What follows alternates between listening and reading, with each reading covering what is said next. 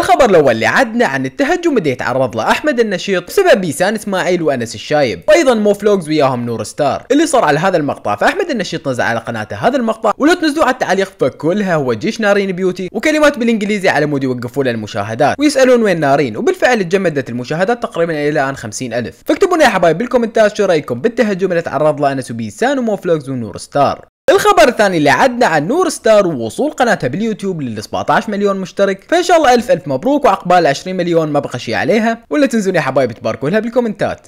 الخبر الثالث اللي عدنا عن المتابعين وفضيحتهم الشيرين بيوتي. فشيرين نزلت هذا المقطع على قناتها وأكو شيء غريب صار بيه فاللي ما يعرف شنو اللي صار فبالبداية أول ما بدا المقطع لو تلاحظون هنا موجود الصليب واللي هو احد الرموز اللي يرمز للديانة المسيحية. طبعا الموضوع عادي وما حد له أي علاقة. ولكن يا حبايب بالثانية 20 شوفوا شنو صار. فبالثانية 20 بالغلط وقعت الكاميرا ودققوا على يمين لما ايد صديقتها شالت الصليب من مكانه. ومن بعد هذه اللقطه الصليب اختفى. فبالنسبة للاشخاص اللي انتبهوا وانقسموا بالكومنتات قسمين. قسم يقول إنه هذه فضيحة إنه عائلة بيوتي مسيحي مسيحيين رغم إنه ما أدري وين الفضيحة بالموضوع يعني بالنهايه كل واحد حر بدينه. بالنسبة للقسم الثاني فيقولون إنه هذه تعتبر إساءة للمسيح وتعتبر إساءة للصليب يعني إنه ليش إيش سويتوا ليش خفيتيه؟ إنه هل أنت مستحية من دينك مثلا؟ صراحة ما أدري عليكم لنا بالكومنتات شنو رأيكم بهذا الخبر؟ وشو تتوقعون شيرين السبب اللي خلتها تخفي الصليب من مكانه؟ الخبر الرابع اللي عدنا عن نارين بيوتي وسفرها لدبي. فنارين بيوتي نزلت على حسابها بالإنستغرام هذا ال story اللي كاتبه بيه حزوروا وين سافرت. وبال story بعده لو تشوفون لي فوق مكتوب دبي. وطبعا بنفس